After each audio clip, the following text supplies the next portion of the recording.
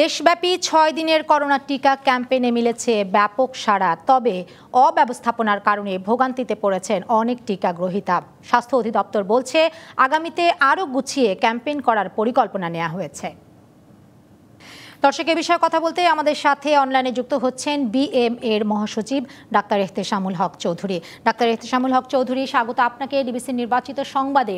ছয় দিন ব্যাপী টিকার যে ক্যাম্পেইন কর্মসূচি, সেটি নিয়ে একটি রিপোর্ট দেখলাম। একটু আপনার পর্যবেক্ষণ আমরা শুনতে চাই।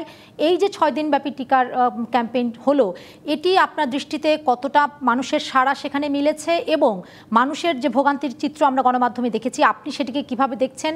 কতটা সমন্বয়ের অভাব কিংবা সমন্বয় আসলে ছিল এই প্রোগ্রামে। ধন্যবাদ আপনাকে। আমরা আসলে যে কোনো মহামারীতে আমরা আমাদের প্রায়োরিটিটা ঠিক করতে হয়। আমাদের প্রায়োরিটিকে আমাদের ফোকাস করতে আমরা আসলে যতটুকু না হাসপাতালকে ফোকাস করছি যতটুকু না আইসিইউ কে ফোকাস করছি যতটুকু না টিকাকে ফোকাস করছি তার চেয়ে বেশি আমার মনে হয় ফোকাস করা উচিত উৎস উৎসমুখটা আমরা যদি উৎসমুখী করোনাকে নিয়ন্ত্রণ করার চেষ্টা করি, তাহলে মনে হয় আমরা অনেক দূরে এগিয়ে যাই এখন আসুন আমাদের গণটিকা কর্মসূচির বিষয়ে আপনি যে প্রশ্ন করলেন। যে কোনো গণকর্মসূচিতে কিছু শুরুতে কিছু বিশৃঙ্খলতা হবেই, এবং সেটা থেকেই কিন্তু আমাদের শিক্ষা নিয়ে আগামী দিনে আমাদের কর্মসূচি সঠিকভাবে পরিচালনা করতেই হবে। আসার কথা যে জনগণের মাঝে এক ধরনের তাদের মানসিক প্রস্তুতি কিংবা শারীরিক উপস্থিতি আমরা দেখছি টিকা নেওয়ার জন্য। এবং সেটিকে আমরা বেশি করে ফলাও করতে হবে। এবং এইটার পেছনে আমি যেটা বলব, সবচেয়ে ভালো কারণ যেটি হয়েছে একদিকে তো মানুষের কিছু ক্ষয়ক্ষতি হয়েছে তাদের পরিবারের আর্থিক এবং শারীরিক অনেক ক্ষতিসাধিত হওয়ার পরে তাদের মধ্যে এক ধরনের উৎসাহ বোধ জেগেছে যে আমাদেরকে করোনা টিকা নিতে হবে। আর দ্বিতীয় যে বিষয়টি কাজ করেছে সেটি হলো আমার মতে জনপ্রতিনিধিদের সম্পৃক্ততা করার পরেই দেখুন আপনি বিভিন্ন ওয়ার্ডে, বিভিন্ন এলাকায় মানুষের উপস্থিতি কিন্তু বেড়েই গেছে। কারণ সেখানে জনপ্রতিনিধিরা, ওয়ার্ড কাউন্সিলররা, ওয়ার্ডের মেম্বাররা, তাদের এলাকার সকল জনগোষ্ঠীকে জানিয়ে দিচ্ছেন যে আগামী অমুক দিন তার এলাকায় টিকাদান কর্মসূচি হবে। এবং তাকে তাই সাড়া দিয়ে সাধারণ মানুষ, তারা তো আর এত কিছুই বুঝে না যে কতটুকু টিকা সেখানে নিয়ে আসা হয়েছে কতটুকু টার্গেট রয়েছে তারা সকলেই চলে এসেছেন। একদিনে সবাই টিকা দিয়ে দিবেন। সেই বিষয়টার জন্য কিছুটা বিড়ম্বনা আমাদের তৈরি হয়েছে। জি ডাক্তার আমি একটু ইন্টারাপ্ট করি। মানে সাধারণ মানুষকে জানানো কি হয়েছে যে একটি কেন্দ্রে তিনশোর মতো টিকা দেয়া হবে এবং সেই কেন্দ্রে কারা কারা আসবেন? কারণ আমি হয়তো মনে করছি আমি যাচ্ছি আরেকজন যাচ্ছে না। এরকম করে করে তো আসলে অনেক মানুষই হয়ে যাচ্ছে। ফলে জানানোর জায়গায় কি গ্যাপ আছে কিনা? আমার, আমি যতটুকু জানি, আমার জানা মতে প্রত্যেকটা এলাকার সিভিল সার্জনরা সরকারের এই নির্দেশনা তাদের শস্য এলাকায় জানিয়ে দিয়েছেন এবং প্রত্যেকটা এলাকায় সংশ্লিষ্ট ওয়ার্ড কমিশনার, কাউন্সিলর, মেম্বাররা তাদের এলাকায় মাইকিং করেছেন যে আমাদের এলাকায় এতজনকে টিকা দেওয়া হবে। সেই জায়গাটায় সারা দিয়ে অতীতে যে ভুলগুলো সাধারণ জনগণ করেছিল, তারা মাস্ক পরে নাই, তারা টিকা নেওয়াতে আগ্রহ তাদের ছিল না, তারা সকলেই একসাথে উৎসাহে তারা কেন্দ্রে গিয়ে অযথা ভিড় করেছেন, যার ফলে কিছুটা আমাদের সমস্যা হয়েছে। তবে এই সমস্যাটুকুকে আমি বড় করে দেখছি না। আমি দেখছি মানুষের অংশগ্রহণ, মানুষের আগ্রহ। না কিন্তু কিন্তু ডাক্তার এহতেশাম আপনি যেটি বলছেন যে মানুষ সেখানে গিয়ে ভিড় করেছে যেটা আমি নিজেও বলছিলাম যে আমি হয়তো জানি না আমি হয়তো মনে করছি আমি যাচ্ছি কিন্তু আমি গিয়ে দেখছি অনেকেই গিয়েছে আমার মতো।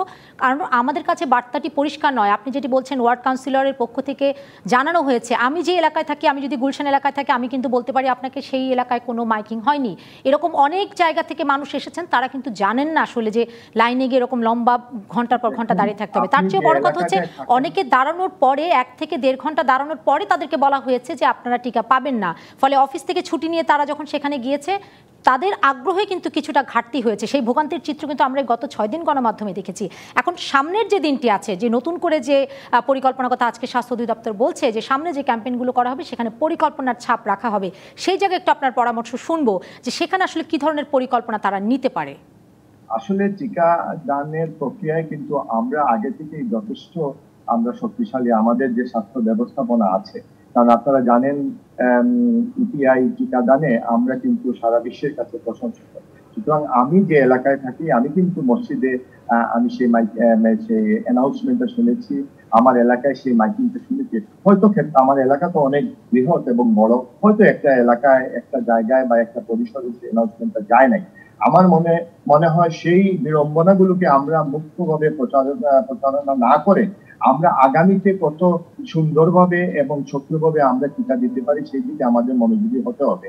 এবং এখান থেকে কিন্তু আমরা শিক্ষা নিয়েছি। স্বাস্থ্য অধিদপ্তর এবং মন্ত্রণালয় আমি নিশ্চিত করে বলতে পারি তারা আগামীতে এই বিড়ম্বনা যেন মানুষের না হয় সেজন্য আরও সুনিপুণ ভাবে কীভাবে কতজন মানুষকে দেয়া- জি আমরা আপনার পরামর্শ শুনতে চাইছি ডাক্তার এতেশাম আপনি কি পরামর্শ রাখবেন খুব সংক্ষেপে যদি দু বলতেন। দু তিনটা বিষয় স্পষ্ট করে বলা উচিত। সেটা হলো কতজন মানুষকে দেওয়া হবে দ্বিতীয় হলো কত বয়সের মানুষকে দেওয়া হবে। প্রায়োরিটি যেটা সরকারকে বলেছে যে এল্ডারলি পিপুল বা যারা অসুস্থ তাদেরকে আগে দেওয়া হবে বা প্রেগনেন্ট উইমেন এগুলা যদি প্রায়োরিটি আমরা সেই অ্যানাউন্সমেন্টে পাই গণমাধ্যমে সেই অ্যানাউন্সমেন্টটা যেন দেওয়া হয় এবং স্থানীয় মসজিদ গুলোতে যেন সেই অ্যানাউন্সমেন্টটা এবং যে ওয়ার্ড কাউন্সিলররা মেম্বাররা যেন সেই অ্যানাউন্সমেন্টটা স্পষ্ট করে দেওয়া হয়। কতজনকে দেওয়া হবে এবং কারা কারা প্রায়োরিটি পাবে? তাহলে কিন্তু সেই সংখ্যাটা কিন্তু কমে যাবে। আমার মনে হয় আরও সুনিয়ন্ত্রিত ভাবে আমরা দিতে পারব। আর অধিক সংখ্যক লোক যদি চলে যায়, তাদেরকে আগে ভাগেই তাদেরকে বুঝিয়ে যে আমাদের এই সংখ্যাটা ফিল হয়ে গেছে। কেউ কেউ চলে যান, ওইখানে তিনি মনে করেন কিছু মানুষ করতে থাকে, আমি গিয়ে একটা ঘু মেরে আসি, সেখানে আমার একটা সুযোগ নেওয়া যায় কিনা? সেই বিষয়গুলোও কিন্তু একটু আমাদের চিন্তা ভাবনায় আনতে হবে যে কতজনকে আমরা ওয়েটিং লিস্টে আমরা রাখতে পারি। সব মিলে আমরা একটা সুস্থ পরিকল্পনার মাধ্যমে আগামীতে টিকাদান দেব। আর এই টিকাদান কর্মসূচি যদি আমরা সঠিকভাবে দিতে পারি সেখানে আমরা ভিড় না করে আরও করোনা সংক্রমণের ঝুঁকি না নিয়ে যদি আমরা সঠিকভাবে টিকা নিতে পারি এবং টিকা দিতে পারি আমার মনে হয় আগামী দিনে আমাদের সুবিধা। নিশ্চয়ই। অনেক ধন্যবাদ জানাচ্ছি ডাক্তার এতেশামুল হক আপনাকে আমাদের আয়োজনে সময় দেওয়ার জন্য।